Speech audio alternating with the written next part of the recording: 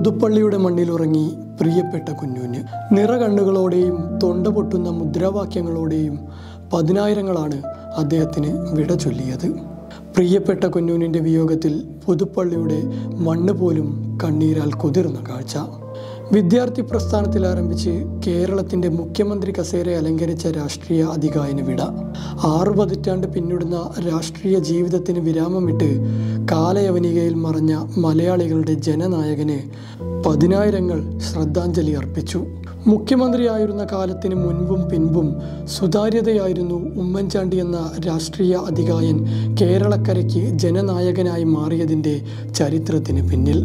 ജനങ്ങൾക്കും അവരുടെ ആവലാതികൾക്കുമായി അദ്ദേഹം തന്റെ ഹൃദയത്തിന്റെ വാതിലുകൾ മലർക്കെ തുറന്നിട്ടിരുന്നു. ബാംഗ്ലൂരിലെ ചിന്മയ ഹോസ്പിറ്റലിൽ വാർദ്ധക്യ സഹജമായ രോഗങ്ങളെ തുടർന്ന് അന്തരിച്ച ഉമ്മൻചാണ്ടിയുടെ മൃതദേഹം പ്രത്യേക വിമാനത്തിൽ തിരുവനന്തപുരത്ത് എത്തിക്കുകയായിരുന്നു. ആയിരത്തി തൊള്ളായിരത്തി എഴുപതിൽ ആദ്യ തവണ നിയമസഭാംഗമായ കാലം മുതൽ കർമ്മനിരതനായ അദ്ദേഹത്തെ അവസാനമായി ഒരു നോക്ക് കാണാൻ തടിച്ചുകൂടിയത് പതിനായിരങ്ങളായിരുന്നു.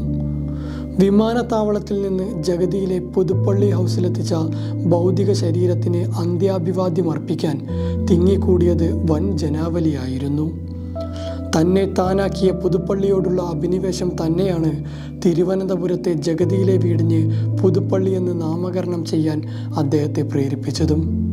ആയിരത്തി തൊള്ളായിരത്തി അറുപത്തി ഏഴ് മുതൽ അറുപത്തി ഒമ്പത് വരെ വിദ്യാർത്ഥി പ്രസ്ഥാനത്തിന്റെ അമരക്കാരനായിരുന്ന ശേഷമാണ് അദ്ദേഹം പുതുപ്പള്ളി നിയോജക മണ്ഡലത്തിൽ നിന്ന് ജനഹിതം തേടുന്നത്. അന്നു മുതൽ ഇന്ന് വരെ പുതുപ്പള്ളിയുടെ പ്രിയപ്പെട്ട കുഞ്ഞുഞ്ഞിനെ അല്ലാതെ മറ്റൊരാളെ ആ സ്ഥാനത്ത് ചിന്തിക്കാൻ പുതുപ്പള്ളിക്കാർക്ക് ആർക്കും ആകുമായിരുന്നില്ല. അത്രമേൽ ഇഴവിരിയാനാകാത്ത വിധം പുതുപ്പള്ളിയുടെ മണ്ണിൽ ഉമ്മൻചാണ്ടി വേരുറച്ചിരുന്നു. നീണ്ട അൻപത്തിമൂന്ന് വർഷക്കാലം പുതുപ്പള്ളിക്കാരുടെ ജീവിതത്തിലും ഹൃദയത്തിലും കുഞ്ഞുഞ്ഞ് ആഴത്തിൽ പതിനൊരു വികാരമായിരുന്നു. രാഷ്ട്രീയ സാമൂഹിക സാംസ്കാരിക രംഗങ്ങളിലെ നിരവധി പ്രമുഖർ പുതുപ്പള്ളി ഹൗസിലെത്തി ജനപ്രിയ നായകന് അന്ത്യോപചാരം അർപ്പിച്ചു ആംബുലൻസിൽ നിന്ന് ഭൗതിക ശരീരം പുതുപ്പള്ളി ഹൗസിൽ ഇറക്കിയത് ഏറെ നേരത്തെ അശ്രാന്ത പരിശ്രമത്തിനൊടുവിലാണ്. അനിയന്ത്രിതമായി ഒഴുകിയെത്തിയ ജനക്കൂട്ടത്തെ നിയന്ത്രിക്കാൻ പോലീസിനും പാർട്ടി പ്രവർത്തകർക്കും കഴിഞ്ഞില്ല. ഉമ്മൻചാണ്ടി എന്ന പകരം വയ്ക്കാനില്ലാത്ത രാഷ്ട്രീയ അധികാരന്റെ ജനപിന്തുണ തന്നെയാണ് തലസ്ഥാനത്തേക്കെത്തിയ ജനപ്രവാഹത്തിന് കാരണം. പുതുപ്പള്ളി ഹൗസിൽ നിന്ന് സെക്രട്ടേറിയറ്റ് ദർബാർ ഹാളിലേക്ക് പൊതുദർശനത്തിനായി മൃതശരീരം കൊണ്ടുപോകുമ്പോൾ തൊണ്ടയിടറിയ മുദ്രാവാക്യങ്ങളുമായി പ്രവർത്തകർ പിന്നാലെ ഓടുകയായിരുന്നു. മണിക്കൂറുകൾക്ക് മുൻപേ സെക്രട്ടേറിയറ്റ് കവാടങ്ങൾക്ക് മുമ്പിൽ ജനങ്ങൾ തിങ്ങിക്കൂടിയിരുന്നു.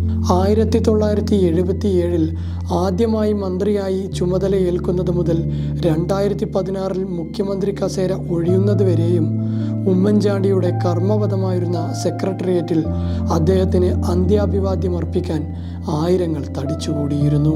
മുഖ്യമന്ത്രി പിണറായി വിജയനും മറ്റ് മന്ത്രിമാരും ഉദ്യോഗസ്ഥരും ദർബാർ ഹാളിൽ അദ്ദേഹത്തിന് അന്ത്യോപചാരം അർപ്പിച്ചു സെക്രട്ടേറിയറ്റിനും പറയാൻ ഏറെയുണ്ട് മുൻ മുഖ്യമന്ത്രിയെക്കുറിച്ച്.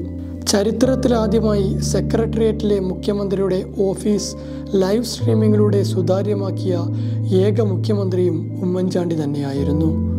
കേരള ജനത സെക്രട്ടേറിയറ്റിലെ മുഖ്യമന്ത്രിയുടെ ഓഫീസ് പ്രവർത്തനങ്ങൾ കണ്ടതും ഇക്കാലത്ത്. ദർബാർ ഹാളിൽ അന്ത്യാഞ്ജലി അർപ്പിക്കാനെത്തിയ ജനസാഗരം പലപ്പോഴും നിയന്ത്രണാതീതമായി മാറി. തങ്ങളുടെ പ്രിയ നേതാവിന് അന്ത്യാഞ്ജലി അർപ്പിക്കാനെത്തിയ ആയിരങ്ങൾക്ക് മുൻപിൽ സുരക്ഷാ ഉദ്യോഗസ്ഥർ നിസ്സഹായരായി മാറിയ അപൂർവ കാഴ്ചയായിരുന്നു ദർബാർ ഹാളിൽ. ദർബാർ ഹാളിൽ നിന്ന് കെ പി സി സി ആസ്ഥാനമായ ഇന്ദിരാഭവനിൽ ഭൗതിക ശരീരം എത്തിക്കുമ്പോഴും പ്രിയ നേതാവിനെ യാത്രയയക്കാൻ ആയിരങ്ങൾ എത്തിയിരുന്നു. കക്ഷി രാഷ്ട്രീയ ഭേദമന്യേ പ്രവർത്തകരും രാഷ്ട്രീയ നേതാക്കളും ഇന്ദിരാഭവനിൽ സജീവമായിരുന്നു. നിലയ്ക്കാത്ത ജനപ്രവാഹമാണ് കേരളത്തിന്റെ പ്രിയപ്പെട്ട നേതാവിന് അന്ത്യയാത്ര നേരാൻ ഇന്ദിരാഭവനിലേക്കും ഒഴുകിയത്. ഓർമ്മകളിൽ വിതുമ്പിയും ഇടറിയ കണ്ടങ്ങളാൽ അഭിവാദ്യം അർപ്പിച്ചും ഇന്ദിരാഭവനിൽ നടന്ന പൊതുദർശനത്തിൽ ആയിരങ്ങൾ പങ്കെടുത്തു. കെ പി സി സി ആസ്ഥാനത്ത് നിന്ന് തിരികെ പുതുപ്പള്ളി ഹൗസിലെത്തിച്ച ഭൗതിക ശരീരവും വഹിച്ച് രാവിലെയോടെ കോട്ടയത്തേക്ക് വിലാപയാത്ര ആരംഭിച്ചു. പുതുപ്പള്ളി ഹൗസിൽ നിന്ന് പുതുപ്പള്ളിയിലേക്കുള്ള യാത്ര ആരംഭിച്ച് ഏഴ് മണിക്കൂറിന് ശേഷമാണ് വിലാപയാത്രയ്ക്ക് തിരുവനന്തപുരം ജില്ല പിന്നിടാനായത്. വൈകുന്നേരത്തോടെ കോട്ടയത്തേക്ക് എത്തുമെന്ന പ്രതീക്ഷകളെല്ലാം തെറ്റിക്കുന്നതായിരുന്നു വഴിയരികിൽ പ്രിയപ്പെട്ട നേതാവിനായി കാത്തുനിന്ന ജനക്കൂട്ടം. ഓരോ പോയിന്റുകളും കടന്നു പോകാൻ മണിക്കൂറുകൾ വൈകിക്കൊണ്ടേയിരുന്നു. പ്രതികൂല കാലാവസ്ഥയെ അവഗണിച്ച് എം സി റോഡിലേക്ക് ഒഴുകിയെത്തിയ ജനപ്രവാഹം ഉമ്മൻചാണ്ടിയുടെ ജനകീയതയുടെ അടയാളമായി ചരിത്രം രേഖപ്പെടുത്തുകയായിരുന്നു. ഇടറിയ കണ്ടങ്ങളാൽ മുദ്രാവാക്യം വിളിച്ച് ഭൗതികദേഹം വഹിച്ചുകൊണ്ട് നീങ്ങിയ വാഹനത്തിന് പിന്നാലെ അലമുറയിട്ട് കരഞ്ഞുകൊണ്ട് ഓടിയത് അദ്ദേഹത്തിന്റെ സ്നേഹവായ്പകൾക്ക് പാത്രമായവർ മാത്രമായിരുന്നില്ല. നഷ്ടപ്പെട്ടു പോയ സ്നേഹത്തണലിനെ ഒരു നോക്ക് കാണാനെത്തിയ സാധാരണക്കാർ കൂടിയായിരുന്നു.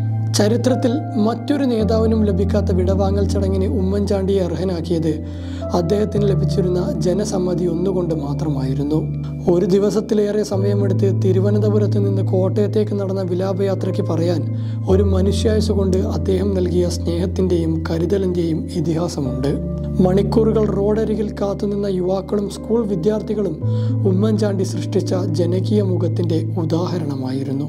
ഒരു ദിവസത്തോളം നീണ്ട കാത്തിരിപ്പിനൊടുവിൽ വിലാപയാത്ര കോട്ടയത്തെത്തുന്നതുവരെ ക്ഷമയോടെ കാത്തുനിന്നവർക്ക് പിന്നെയും മണിക്കൂറുകൾ വേണ്ടിവന്നു പ്രിയപ്പെട്ട നേതാവിന് അന്ത്യാഭിവാദ്യം അർപ്പിക്കാൻ കോട്ടയം ഡി സി സി ഓഫീസിൽ നടന്ന പൊതുദർശനത്തിൽ സാമൂഹിക സാംസ്കാരിക രംഗത്തെ അനേകം പേർ അന്ത്യാഞ്ജലി അർപ്പിച്ചു.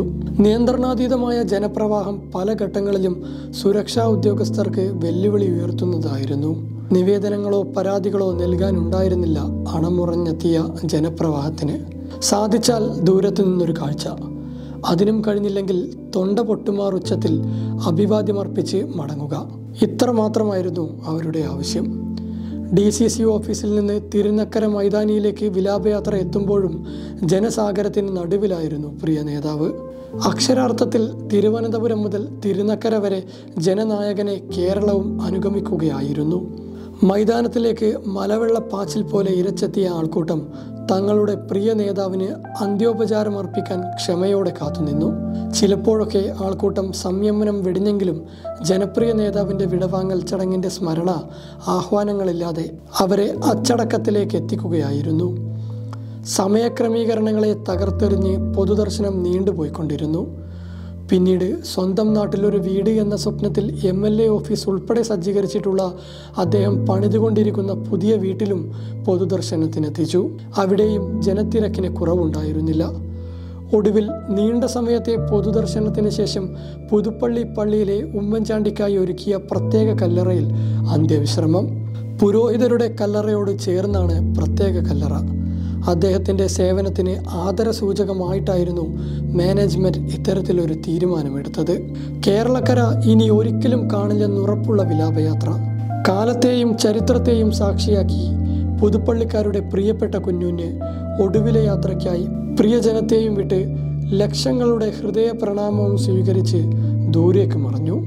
സംസ്കാരം കഴിഞ്ഞിട്ടും അവസാനിക്കാത്ത മുദ്രാവാക്യമായിരുന്നു പള്ളിക്ക് പുറത്ത്. അതിപ്രകാരമായിരുന്നു.